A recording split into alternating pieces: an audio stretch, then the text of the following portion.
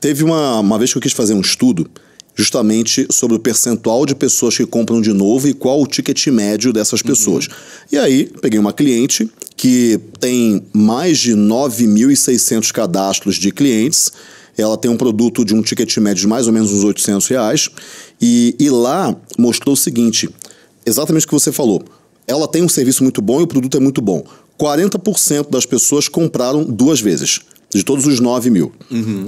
E aí ia. Coincidência, né? Exatamente. dado estatístico, 9 mil clientes de, dessa empresa. Uhum. E 10% do total, ou seja, 25% dos 40%, compraram cinco vezes ou mais.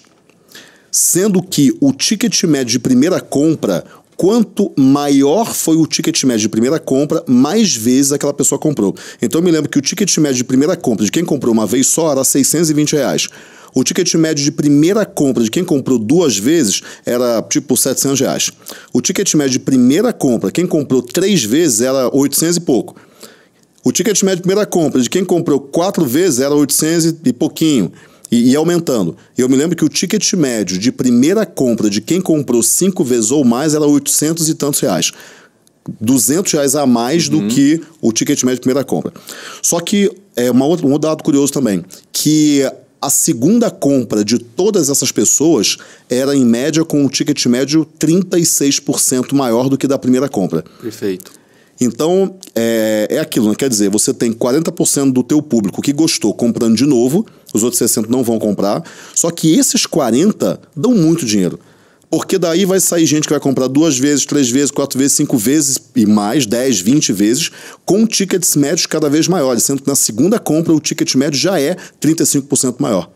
Isso aí. É, o Neil Patel fala que, em média, aí, o cliente que, que é recorrente vai gastar, vai ter um ticket médio 31% superior a, a, ao cliente novo, né? O cliente de, de primeira compra, né? Exatamente, então, é isso aí. Então, isso, isso sim costuma acontecer na maioria dos casos. E quando não acontece, na leitura dos nossos dados, né? Aí o empreendedor ele tem que saber ler os dados. A gente tem casos que vão na direção oposta. Quanto melhor o cliente, mais dinheiro ele gasta, menor o ticket médio dele, dependendo do tipo de negócio. Por quê? Porque ele passa a fragmentar as compras dele e a frequência de recompra é muito maior. Ah, ok, legal. Então, uma uma coisa que a gente. É, isso, inclusive, a gente teve alguns casos de clientes que inverteram totalmente o tipo de atenção que davam para os clientes, porque eles eram, eram um salão de beleza e eles olhavam muito para a questão do ticket médio para determinar quem eram os melhores clientes.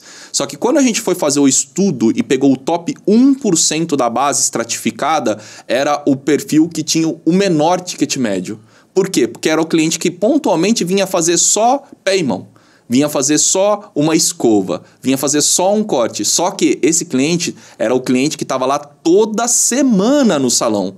Não é um cliente que vinha a cada três meses ou a cada seis meses, né? Que era o caso de muitos clientes. Ou seja, ticket médio não tem que ser por compra, tem que ser por período. Por período do cliente. Então isso tá. é uma, isso é algo importante de, de ser falado, né? Porque é, em alguns segmentos isso acaba acontecendo. Daí a gente acaba medindo o quê? O gasto médio mensal. Né, que, ou o gasto médio trimestral, dependendo do tipo de negócio, pode fazer mais sentido. E aí a tendência é que os clientes que é, são mais fidelizados, eles vão ter um gasto médio por período muito maior do que só o ticket médio isolado, né?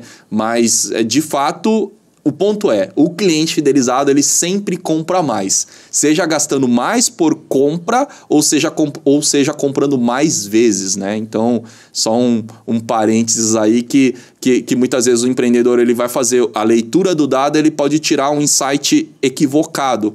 E aí, olha só que, que legal, esse salão de beleza fica lá em São Paulo e, e aí os atendentes não davam devida atenção para os clientes, gastavam menos e rolava aquela, aquela piadinha interna do cliente pobre, né? É, tipo, ah, cliente, esse cliente é pobre, gasta pouco e tal. A hora que o, o, o, dono do salão viu o CRM, viu que eram os clientes que mais deixavam dinheiro por períodos consistentemente, mudou completamente a forma de atender esses clientes. Que muitas vezes o atendente não oferecia o cafezinho para esse cliente e tal. Esse cliente aqui só vem fazer pé e mão, então eu não vou oferecer nem água para ele porque está me dando prejuízo. E isso não era verdade, né? E aí eles passaram, inclusive, a mudar a estratégia do salão para conseguir clientes mais recorrentes, né? Fazendo pacotes de serviço para fazer o cliente voltar mais vezes. Por quê? Porque esse cliente tinha uma chance de virar um, um cliente completo do salão que esse é o que dá lucro de verdade. E como que você conquista um cliente é, completo? Né? É nos serviços de maior recorrência, ele está fazendo com você. Porque se ele já confia, a hora que ele precisar de fazer um serviço é, de ticket mais alto, né, uma coloração, uma hidratação, um procedimento ele estético, vai fazer com você. Né? ele vai fazer com você. E aí, nessa hora, vem uma compra de valor maior, mas antes disso vem várias compras menores, né? Muito bom esse insight, hein? Muito bom mesmo. Eu não tinha me atentado para isso.